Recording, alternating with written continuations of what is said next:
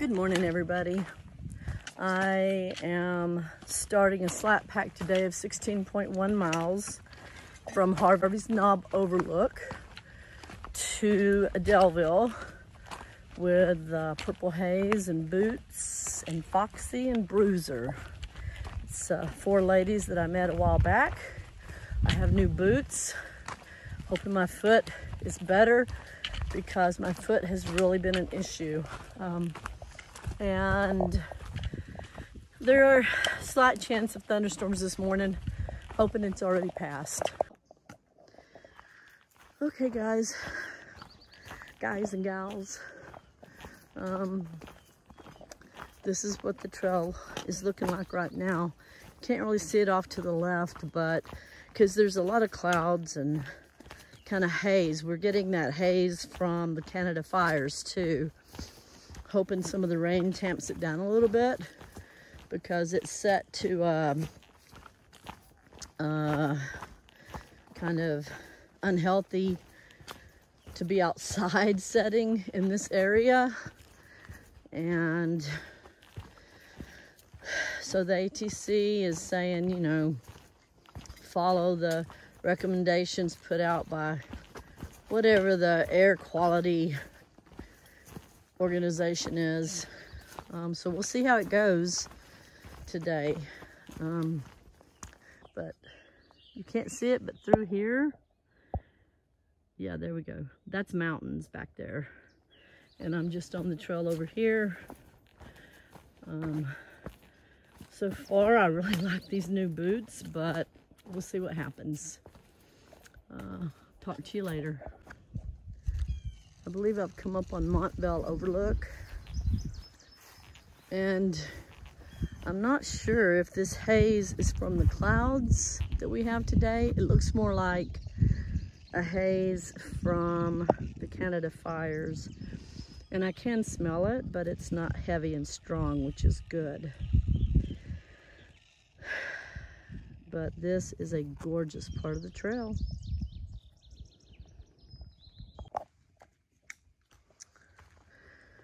Well, my big toe was already hurting. Sounds like a wah wah, but it, I mean, for it to already be hurting within like the first 20 minutes of a hike is not good.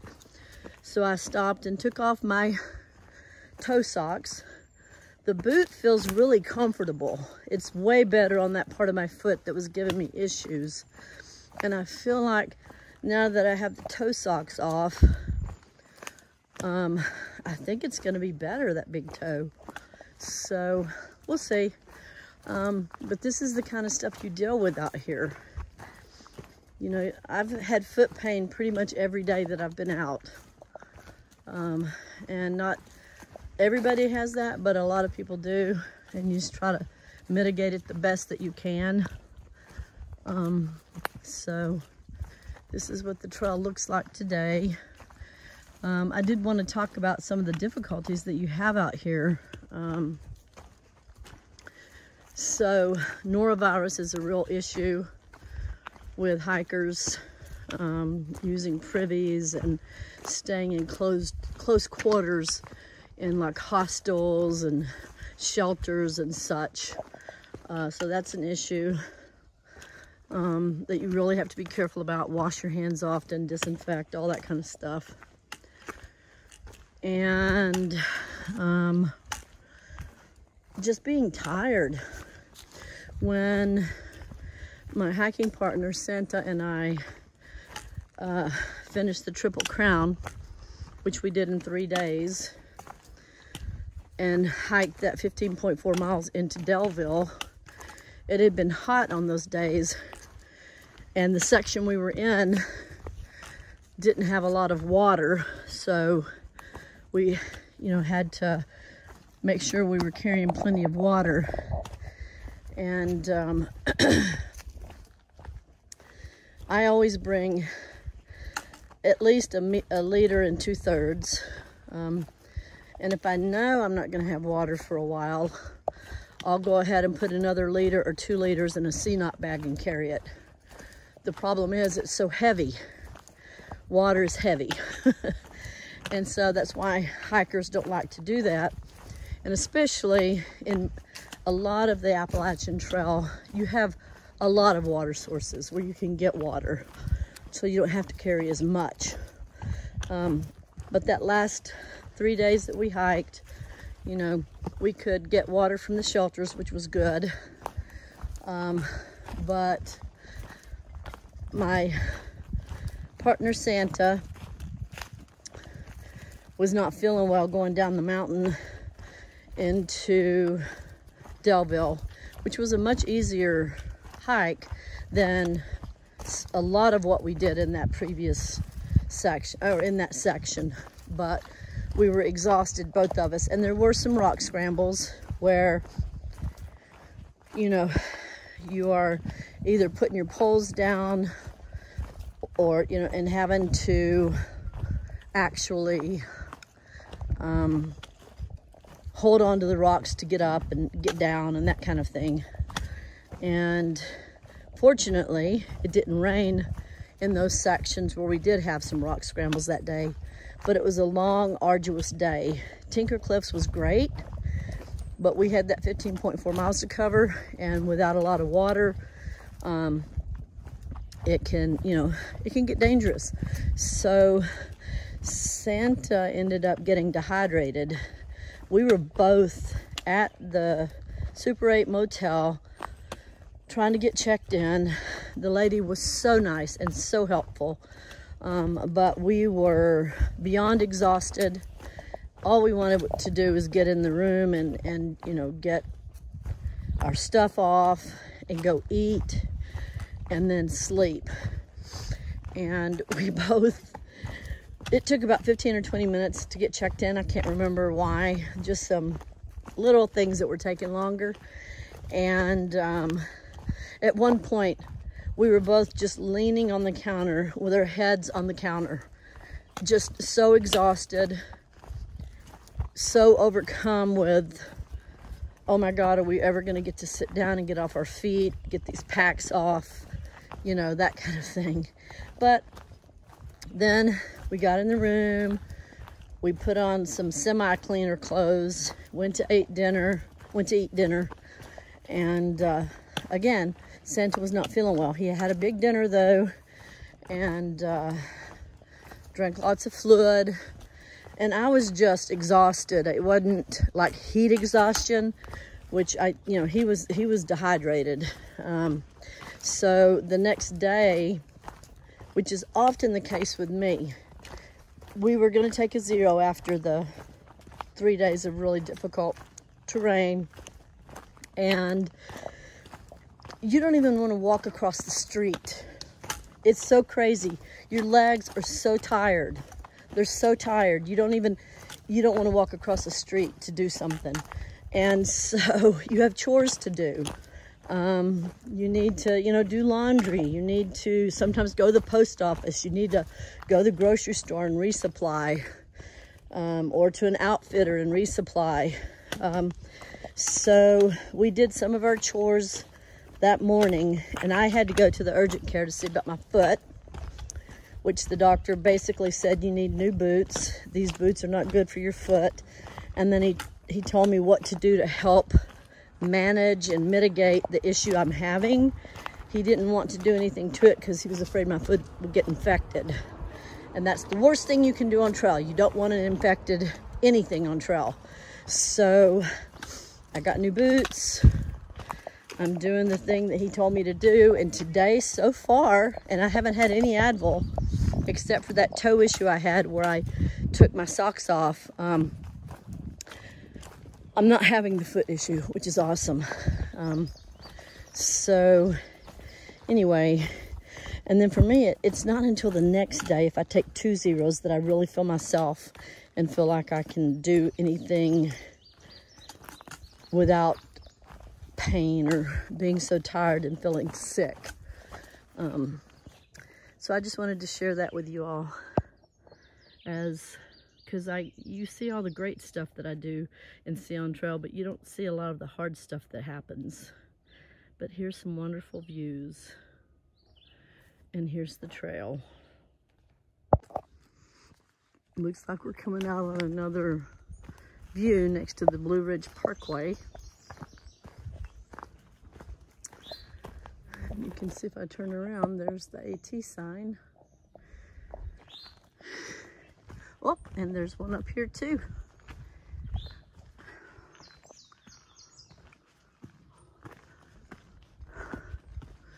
Loving it. Wow.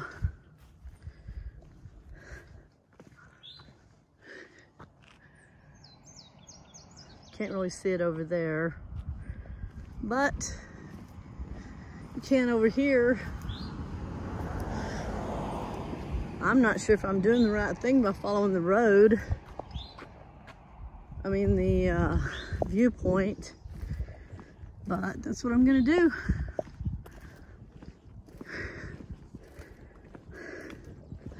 So beautiful.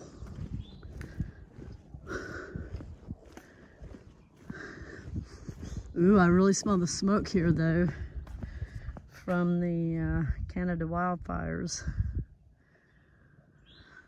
Ooh.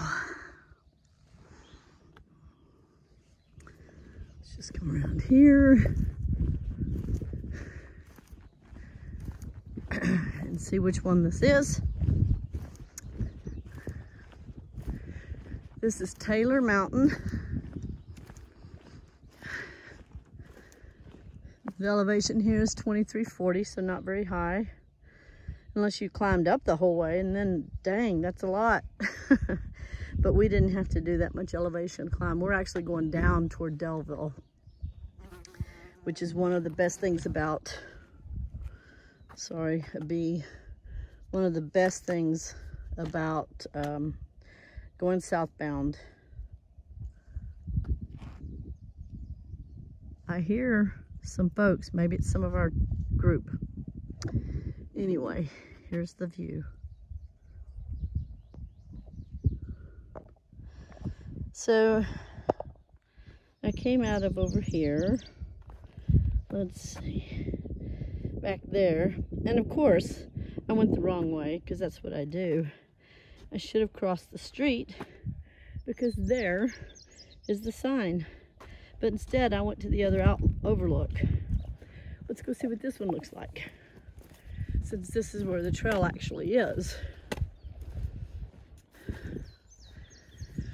Whew. Fun times.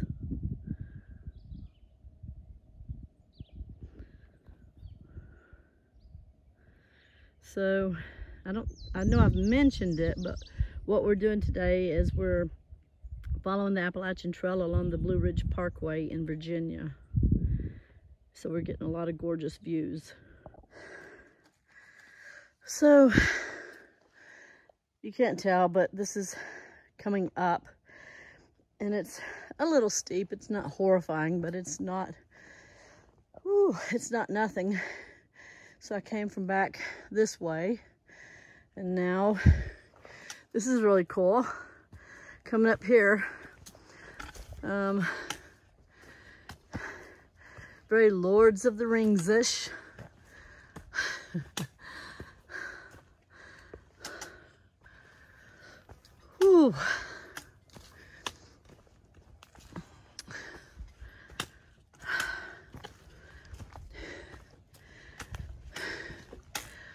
But nothing like what we did the three days before coming into Daleville. That had a path going through the rocks. Those going down Dragon's Tooth, you were going over the rocks and they were sometimes very steep. Um, so that looks really cool and uh, I love it. Um, but those other days when I couldn't film, there was no way. Um, those were very technical, especially at Dragon's Tooth. But even, I think there was a couple of places after McAfee Knob, no, between McAfee Knob and maybe Tinker Cliffs. And then for sure, a place after Tinker Cliffs where it was a little sketchy but not as bad as it was going up to Dragon's Tooth. Or going down from Dragon's Tooth was the main thing. So anyway, this is the trail right now. And I just think it looks so cool. All these kind of green mossy rocks and fallen trees and different things. But I am gonna stop videoing right now because I don't want to accidentally trip. I think this tree is cool. At first glance, it looks dead, but this tree right here, but when you look up, it's got growth on it, so it's not dead. Maybe on its way, but it's still alive right now. And I say thank you, tree, for giving us all the wonderful things that you give us. Nothing better than a well-placed leaf at a water source right off the trail. Because that leaf allows us to get water pretty easily. Man. Oh, that was a sight to see. So I'm heading southbound on the trail and I'm coming around and just wanted to show y'all sometimes this is where people have like made a campsite. Um, there's the um, campfire and it's a nice flat spot, but let's see what it says. Oh, it says it was a collier's pit. Another great water source.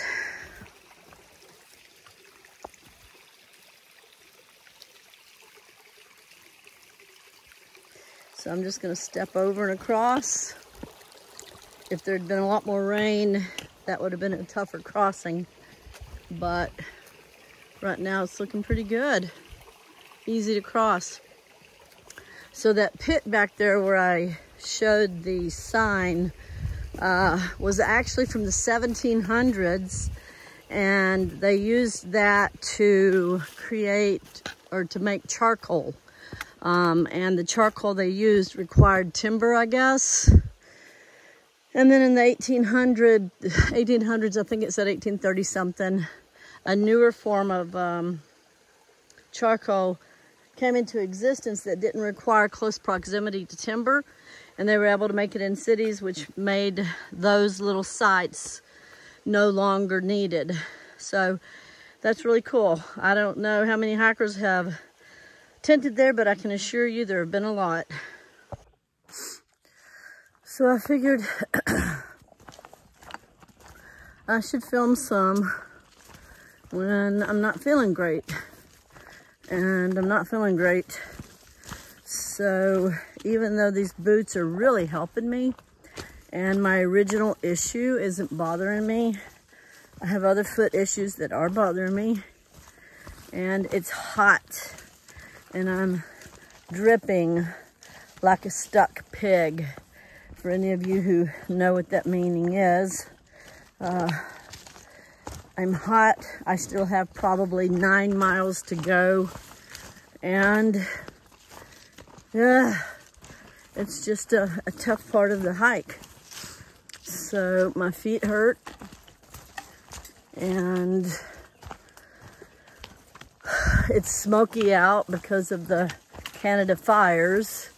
So the air quality is not the best it could be. And I'm just trying to get through this day. So not the, the best hike in the universe. It was good this morning. It was beautiful. It was cooler. And now it's back to the same old, same old drudge of one foot in front of the other. It's hot now, as it has been for the last, I don't know, five or six days.